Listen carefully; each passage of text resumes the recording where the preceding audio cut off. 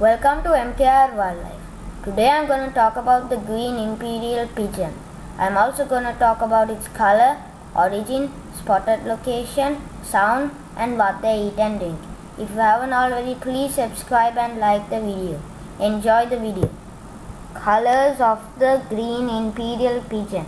Its back, wings and tail are metallic green. The head and underparts are white apart from the maroon undertail cover. Origin of the green imperial pigeon. The first description of the species was in 1783 by John Latham. I spotted the green imperial pigeon in Bullaskam, Sri Lanka.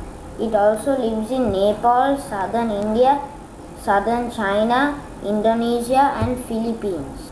This is the sound of the green imperial pigeon.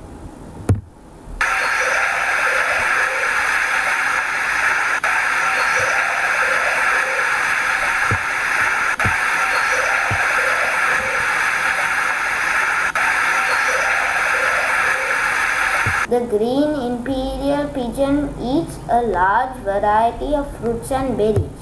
Thank you for watching my video. Please subscribe and like the video. Have a nice day.